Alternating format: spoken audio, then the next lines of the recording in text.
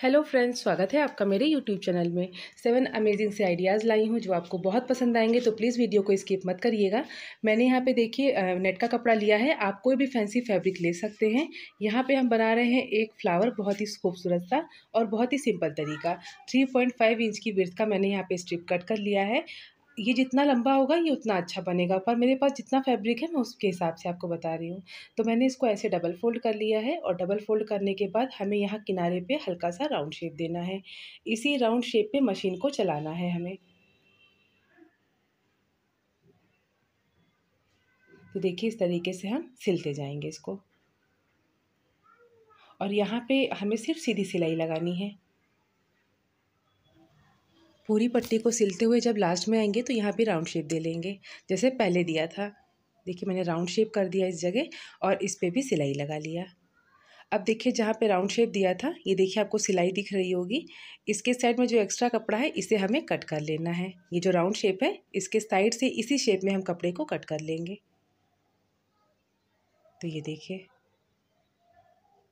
जैसे इस side cut किया है, वैसे ही हम ऊपर साइड में कर लेंगे। तो यहाँ भी ऐसे कट कर लेंगे।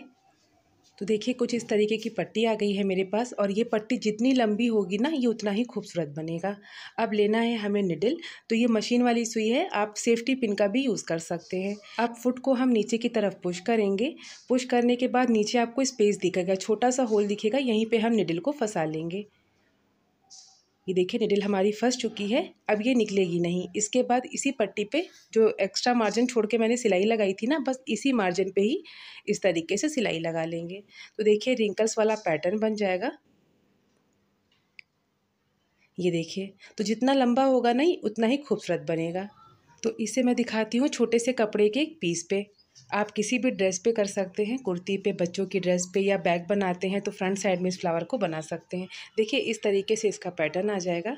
बहुत ही ईजी तरीका रहता है और बहुत देखने में खूबसूरत लगता है। तो बस जहाँ भी आपको फ्लावर को सेट करना है, ऐसे बना लीजिए। इसके बाद बस आपको सिंपल सिलाई लगाते जाना है। तो देखिए, निडल को मैंने फुट से निकाल लिया है। अब जैसे सिलाई करते हैं सिंपल, बस वैसे ही सिलते जाइए। तो जो मार्जिन है ना, उसको आप एक दूसरे के ऊपर ओवरलैप करा दीजिएगा, ताकि मार्जिन जो है रफ साइड, वो एक दूसरे से दबती चली जाए सिलाई के अंदर। ये देखिए, इस तरीके से। और जो ऊपर वाली रफ साइड आएगी, वहाँ पे हम कोई बीट है, कोई पर्ल है, या कोई शोपीस वाले बटन्स हैं, वो आप लगा सकते हैं। तो राउंड में ही हमें ऐसे सिलाई लगा लेना है। तो देखिए इस तरीके के जो फ्लावर होते हैं वो अक्सर बच्चों के ड्रेस में या हेयर बैंड वगैरह में होता है। देखने में बहुत खूबसूरत लगता है। तो आप कहीं भी इसको यूज़ कर सकते हैं बना के। ये बहुत सिंपल तरीका है इसको बनाने का और बहुत जल्दी बन के ये रेडी हो जाता है। बस बीच में आप कोई शोपीस वाली बटन्स हैं कोई भी आपके पास बीड्स रखे हैं पर्ल रखे हैं, आप उसको यहाँ पे स्टिच कर सकते हो। स्टिच कर लीजिए या फिर फैब्रिक ग्लू से पेस्ट कर लीजिए। तो ये था मेरा फ़र्स्ट आइडिया सेकंड आइडिया भी मैं इसी पीस से बता देती हूँ। छोटा सा सैंपल के तरीके ताकि आपको बस आ जाए बनाना कि कैसे बनाते हैं। देखिए, जब भी हम कुछ बॉर्डर वगैरह बनाते हैं तो बैक साइड भी फिनिशिंग से रहे और फ्रंट साइड भी सिंगल ऐसे फोल्ड कर लेंगे। ये सीधी साइड है ऊपर की तरफ़। और मैंने सिंगल फोल्ड किया है, डबल फोल्ड नहीं किया है। बस चारों तरफ़ से हमें सिलाई लगाते जाना है और इसको पैक कर लेना है चारों तरफ़ से।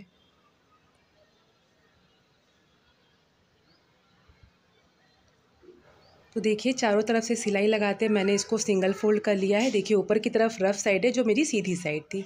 अब जैसे लेस लगाते हैं ना तो लेस भी मेरे पास कम है यहाँ पे तो सिर्फ़ समझाने के तौर पे मैं इस तरीके से कर रही हूँ। सीधी साइड ऊपर की तरफ़ रखते, जो रफ साइड था ना मेरा, सिंगल फोल्ड वाला, उसी के ऊपर हमें मशीन चलानी है। अभी हम डबल सिलाई चला लेंगे तो रफ मार्जिन जो है, अंदर की तरफ़ दब जाएगा। ये देखिए, ये जो निकला है तिरछा ना कॉर्नर बने हुए, इसको ऐसे ही रहने दीजिए। इसके बाद आप सिलाई लगा लीजिए। दूसरे कॉर्नर पे आ जाएँगे। तो अपना जो स्क्वायर वाला पैटर्न है ना, इसको ध्यान में रखिएगा किनारे। बाकी जो बढ़ रहा है साइड में, उसे इग्नोर करिए अभी। बस फिर हम आगे बढ़ जाएँगे। और जो तिरछी ये कपड़े की प्लेट्स जैसी निकली हुई है ना, कोने शेप में, इसको निकले रहने दीजिए। आगे बढ़ जाएँगे। तो लेस मेरे पास कम है, अगर होती तो पूरा इसी तरीके से हम कवर कर लेते इसको। ठीक, अब क्या करना है? कॉर्नर कैसे फिनिशिंग से बनेगा? ध्यान दीजिएगा। ये जो कोना हमारा निकला हुआ है ना, लेस का, ये देखिए बीच में होल दिख रहा है, इसी से पलट लीजिए इसको। ये मैंने पलट लिया। पलटने के बाद देखिए, जो एक्स्ट्रा कपड़ा पलटा हुआ है, उसे रहने दीजिए।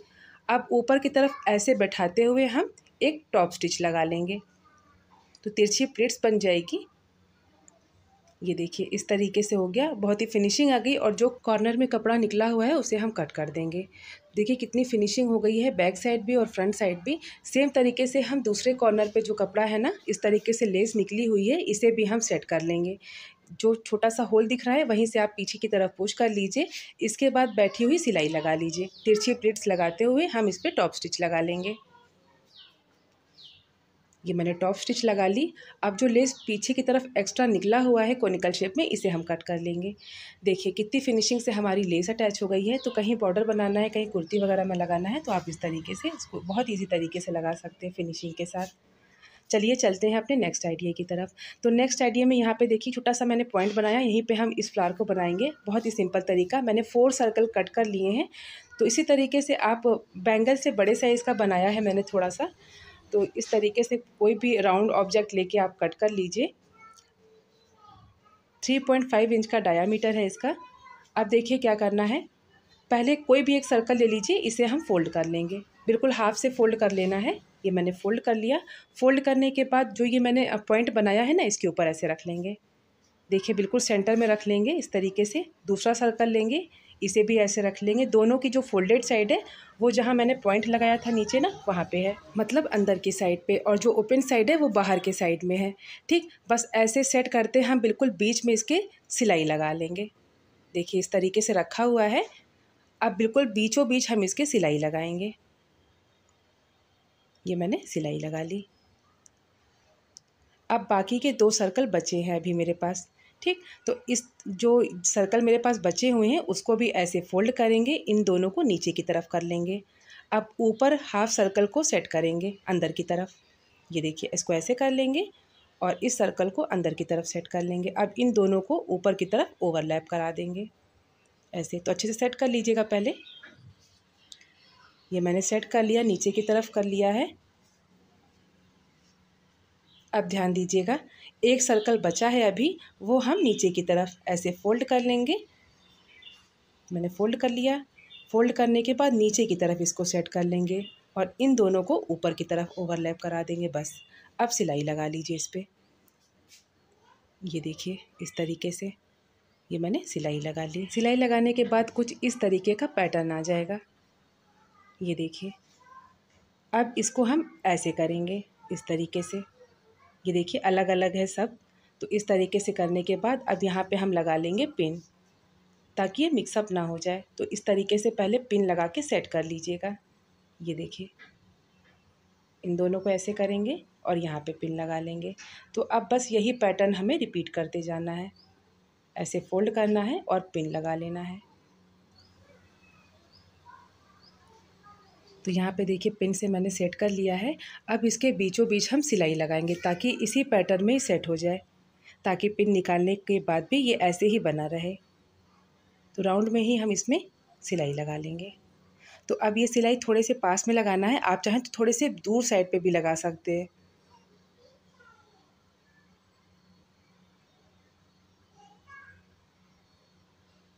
ये मैंने सिलाई लगा ली।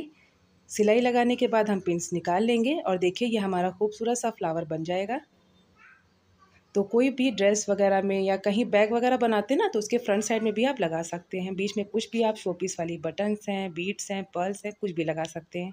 तो देखिए कितना खूबसूरत लगता है और बहुत जल्दी बन के रेडी हो जाता है। जैसे रेडीमेड फ्रॉक वगैरह खरीदते हैं बच्चों की ना, उसमें ऐसे ही अक्सर बने होते हैं। चलते हैं अपने नेक्स्ट आइडिया की तरफ़। देखिए इस तरीके की जिप लगानी होती, कई कबार हम अपनी ड्रेस में लगाते हैं, बच्चों की ड्रेस में लगाते हैं तो बच्चों के जितने भी फैंसी ड्रेस आते हैं ना, उसमें इस तरीके से ही ओवरलैप होते हुए हम ब्लैंकेट बनी हुई जिप देखते हैं, बहुत ही फिनिशिंग के साथ लगी होती है। तो इसको लगाने का मैं सिंपल तरीका बताती हूँ आपको, बहुत पसंद आएगा।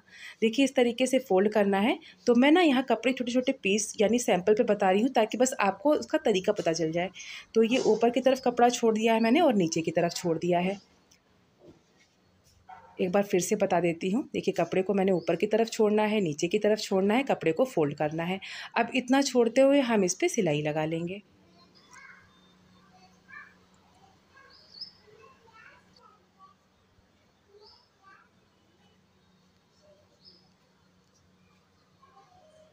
तो ये देखिए, मैंने सिलाई लगा ली। सिलाई लगाने के बाद ध्यान दीजिएगा। ये देखिए, ये मैंने सिलाई लगाई है। यहाँ पे दो स्टॉपर लगे होते हैं स्टील वाले।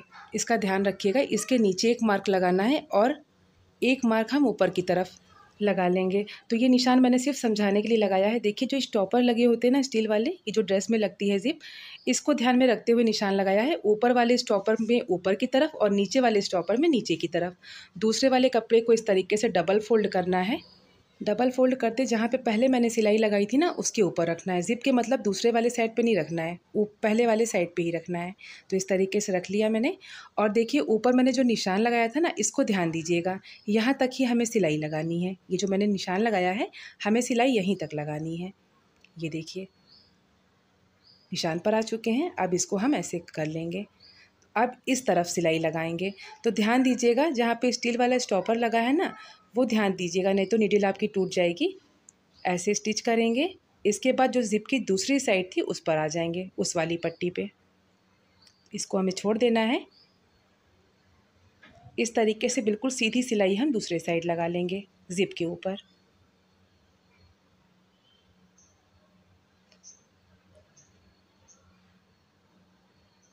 ऐसे आप टच करेंगे फिंगर से तो आपको अंदाज़ा लग जाएगा आपकी ज़िप कहाँ तक है। ये देखिए, आपको स्टील वाला स्टॉपर दिख रहा है ना, इसके नीचे जो मैंने निशान लगाया है, बस यहाँ पे आएँगे इसके बराबर। अब ऐसे करते हुए हम स्टिच कर लेंगे, यहाँ पे अच्छे से पक्का करके बस हम मशीन से इसको हटा लेंगे।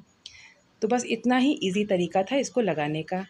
कोई झंझट नहीं है, बच्चों की ड्रेस बना रहे हैं या खुद के लिए बना रहे हैं कोई ड्रेस तो आप इस तरीके से ज़िप लगा सकते हैं। तो ज़िप भी विजिबल नहीं रहती है, अंदर की तरफ़ है पॉकेट में भी लगा सकते हैं। और ये जैसे प्लैंकेट बनता है ना, बिल्कुल उसी तरीके हो जाती है, ये देखिए। तो इतना इजी तरीका है। मैंने दो डिफरेंट कलर के कपड़े लिए हैं। डिफरेंट कलर की जिप ली है ताकि अच्छे से आपको विजिबल रहे। अच्छे से दिखाई देगा तो अच्छे से समझ में भी आएगा। ठीक? तो ये बहुत ही आसान तरीका है जिप को लगाने का। आई होप आपको ये वाला आइडिया भी पसंद आया होगा। अब चलते हैं अपने नेक्स्ट आइडिया की तरफ़। बिना कटिंग और बिना सिलाई मशीन अगर आपके पास भी इस तरीके के स्लीव्स के पैटर्न की कोई भी ड्रेस है तो इसे आप खुद से रिपेयर कर सकते हो। और वो भी सिर्फ़ पाँच मिनट में। ना ही आपको टेलर के पास चक्कर लगाना पड़ेगा, और ना ही आपके पैसे बर्बाद होंगे। देखिए, समय किसी के पास नहीं आज के टाइम में।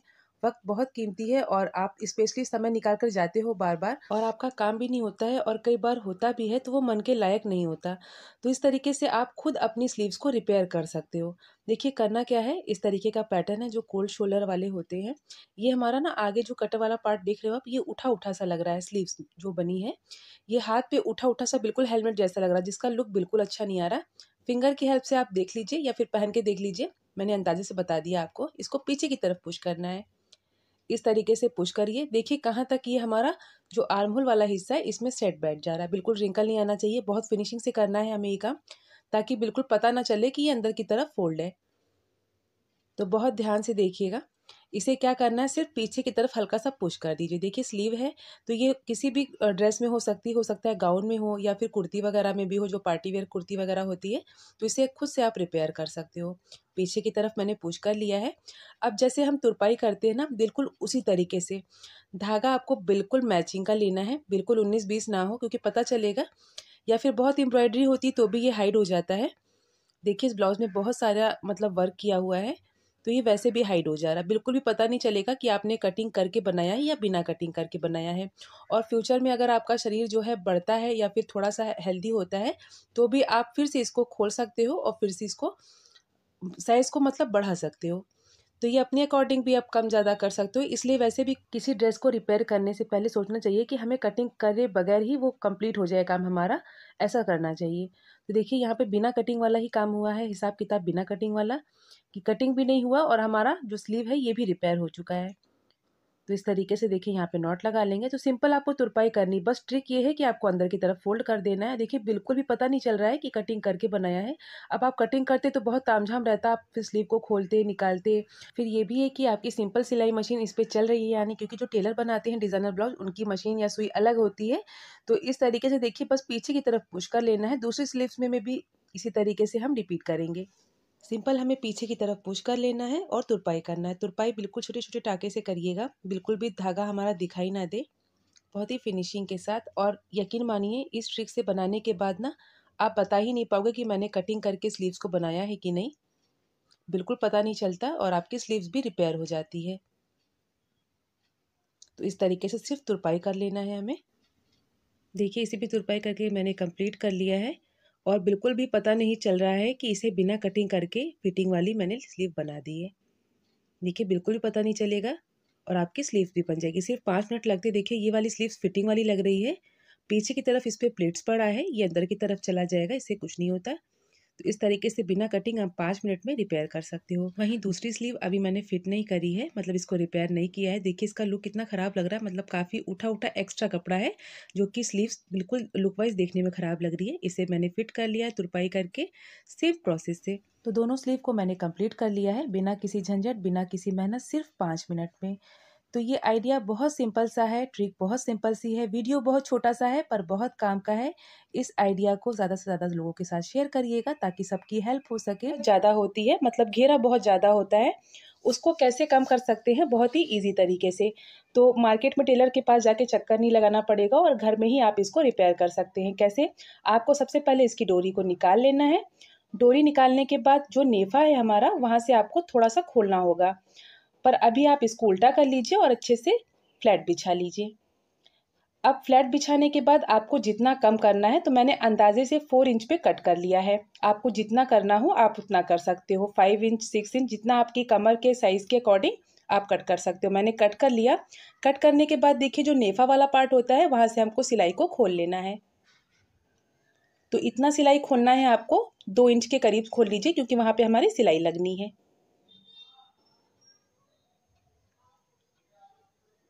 तो देखिए, इस तरीके से सिलाई खोलना है। सिलाई खोलने के बाद देखिए, आपको सिलाई लगानी है नीचे से ऊपर तक और जो नीचे हमारा बॉर्डर बना हुआ है, उसको अभी खोलने की मेहनत मत करिएगा। ये देखिए, इस तरीके से तो मशीन पे बताती हूँ आपको, सिंपल आपको सिलाई लगानी है नीचे से, जहाँ घेरा वाला पार्ट होता है, वहाँ से आप सिलाई लगाते जाइए और ऊपर आ चुके हैं, जहाँ नेफा वाला पार्ट मैंने खोला था दो इंच तक, उसको बराबर करके ऐसे स्टिच कर लीजिए। ये हमारा स्टिच हो चुका है। अब देखिए क्या करना है। जो ऊपर नेफा वाला पार्ट खोला था ना, अब इसको अंदर की तरफ़ फोल्ड कर लीजिए। पूरे पर सिलाई लगा लीजिए। तो ये मैंने सिलाई भी लगा ली।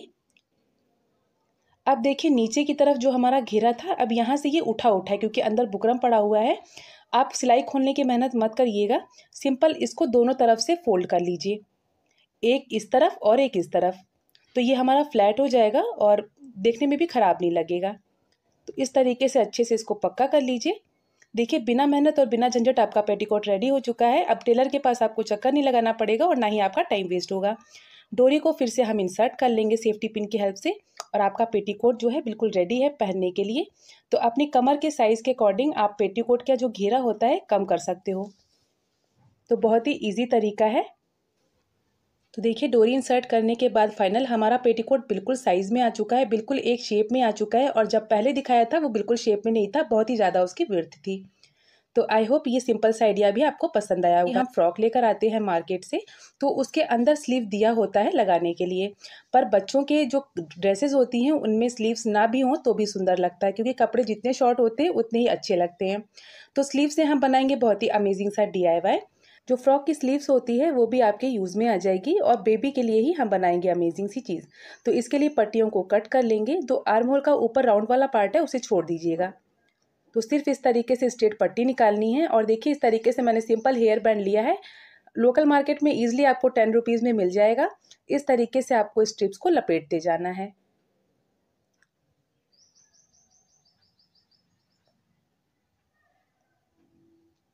सिर्फ़ इस तरीके से लपेटते जाइए, हल्का सा एक दूसरे के ऊपर ओवरलैप कराते हुए।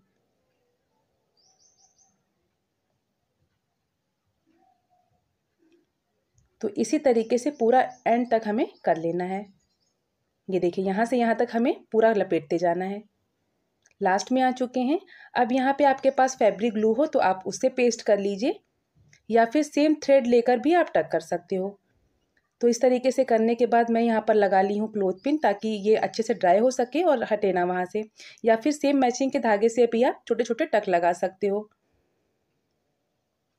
तो ये मेरा ऊपर की तरफ़ आ रहा है, पर मैं बहुत सफ़ाई से कर रही हूँ, दिखाई नहीं देगा।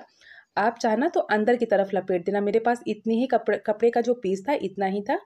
अब ऊपर से जो राउंड वाला पीस बच गया है, इससे हम बनाएँगे ब्यूटीफुल सा फ्लार। आप फ्लार बना सकते हो, बो बना सकते हो, ये आपकी मर्ज़ी है। तो मेरे पास जितना कपड़ा है, मैं उसमें ही सारी चीज़ें बनाकर तैयार कर लूँगी। तो इस तरीके से हमें लपेटते जाना है।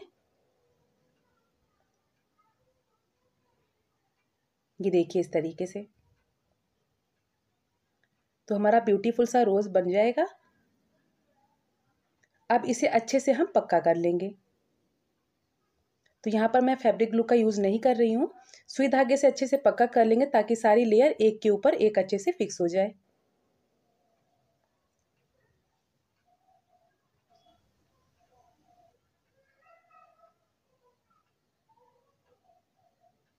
तो यहाँ पर हमारा रोज़ कंप्लीट हो चुका है। ये देखिए कितना सुंदर लग रहा है। तो यही फ्लावर आप बच्चों की किसी ड्रेस के लिए भी बना सकते हैं। देखिए इसको साइड में मैं फिक्स कर दूँगी। तो फैब्रिक ग्लू की हेल्प से यहाँ पे पेस्ट कर लेंगे। अब इसे छोड़ दीजिए ओवरनाइट ड्राई होने के लिए। तो यहाँ पर मैं क्लोथ पिन लगा रही हूँ ताकि ये हटे ना यहाँ से। देखिए हमारा ब्यूटीफुल सा ये हेयर बैंड तैयार हो चुका है तो फ्रॉक की मैचिंग का ही है तो बच्चों के ड्रेसेस से मैचिंग का आप हेयर बैंड बना सकते हैं। अब चलते हैं अपने नेक्स्ट आइडिया की तरफ़। तो नेक्स्ट आइडिया में मैंने इस तरीके से वुलन मैक्सी लिया है जो नाइटी होती है। कॉटन की नाइटी गर्मी में पहनी जाती है पर ये वुलन वाली है ठीक? तो इसको हम कैसे बिना सिलाई मशीन चलाए और बिना किसी झंझट के थोड़ा सा स्टाइलिश और फिटिंग बना सकते हैं तो इसको देखते हैं क्या करना है। तो ये काफ़ी लंबी थी तो लंबाई के अकॉर्डिंग मैंने पहले लेंथ को कम किया तो सिर्फ़ मैंने बॉर्डर को कट किया। तो यहाँ से सबसे पहले हम बॉर्डर को कट कर लेंगे। ये मैंने बॉर्डर को कट कर लिया है। ऊपर से जहाँ पे निशान आता है ना, पेट वाला हिस्सा, कमर वाला हिस्सा बोल सकते हैं फोर्टीन इंच पर मैंने निशान लगाया है। थर्टीन पॉइंट फाइव इंच भी आ सकता है और फोर्टीन इंच भी आ सकता है।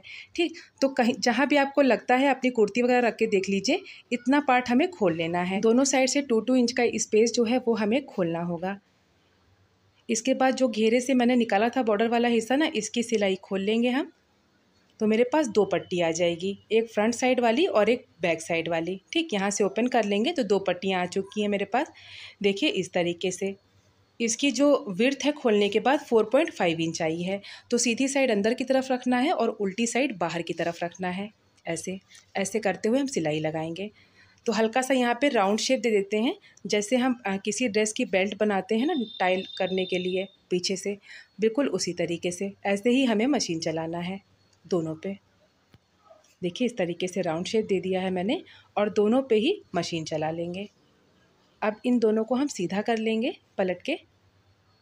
ये देखिए, दो बेल्ट आ चुकी हैं मेरे पास। मैंने छोटे छोटे दो लूप्स बना लिए हैं साइड के ही कपड़े से। अब क्या करना है? जो स्पेस मैंने यहाँ पे खोला था ना, ये देखिए हमारे लूप यहाँ पे अटैच होंगे। इस तरीके से। तो अभी मैं रफली दिखा रही हूँ आपको यहाँ पे इस तरीके से। तो स्टिच तो हमारा अंदर साइड से होगा, मैं ऐसे ही दिखा रही हूँ। इसके अंदर इस पर नॉट लग जाएगा। तो अभी उल्टा कर लिया है मैंने मैक्सी को और देखिए फोल्डेड साइड को अंदर की तरफ़, इस लूप को हमें अंदर करना है और फोल्डेड साइड हमारी अंदर की तरफ़ रहेगी रफ साइड बाहर की तरफ़ रहेगी और सिलाई करते हुए हम इसको अच्छे से पक्का कर लेंगे। दूसरे साइड भी सेम तरीका रखेंगे लूप को अंदर कर लेंगे फोल्डेड साइड और जो रफ साइड है, बाहर की तरफ़ रहेगा और सिलाई करके अच्छे से पक्का कर लेंगे। नीचे घेरे को मैंने कट किया था तो उसे भी डबल फोल्ड कर लिया है और डबल फोल्ड करके इस तरीके से सिलाई लगा लेंगे।